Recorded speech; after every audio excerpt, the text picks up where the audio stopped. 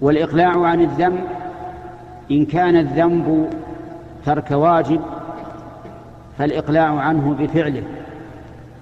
مثل أن يكون شخص لا يزكي فأراد أن يتوب إلى الله فلا بد من أن يخرج الزكاة التي مضى التي مضت ولم يزك ولم يؤدها. إذا كان الإنسان مقصرا في بر الوالدين فإنه يجب عليه أن يقوم ببرهما. إذا كان مقصرا في صلة الرحم فإنه يجب عليه أن يصل الرحم. وإن كانت المعصية بفعل محرم فالواجب أن يقلع عنه فورا ولا يبقى فيه ولا لحظة. إذا كانت من أكل الربا مثلا فالواجب أن يتخلص من الربا بتركه والبعد عنه وإخراج ما اكتسبه عن طريق الربا. إذا كانت المعصية بالغش والكذب على الناس وخيانة الأمانة فالواجب عليه أن يقلع عن ذلك وإذا كان قد اكتسب مالا عن هذا الطريق المحرم فالواجب عليه أن يدفع أن يرده إلى صاحبه.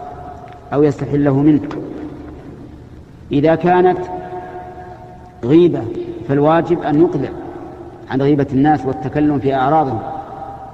أما أن يقول إنه تائب إلى الله وهو مصر على ترك الواجب أو مصر على فعل المحرم فإن هذه التوبة غير مقبولة. بل إن هذه التوبة كالاستهزاء بالله عز وجل. كيف تتوب إلى الله وأنت مصر على على معصيته؟ لو أنك تعامل بشرا من الناس وتقول أنا تبت إليك وأنا نادم خلاص ما أعود ثم في نيتك وفي قلبك أنك ستعود وعدت فإن هذا سخرية بالرجل. فكيف بالله رب العالمين؟ فالإنسان التائب حقيقة هو الذي يقلع عن الذنب. من الغريب أن بعض الناس تجلس إليه وتجده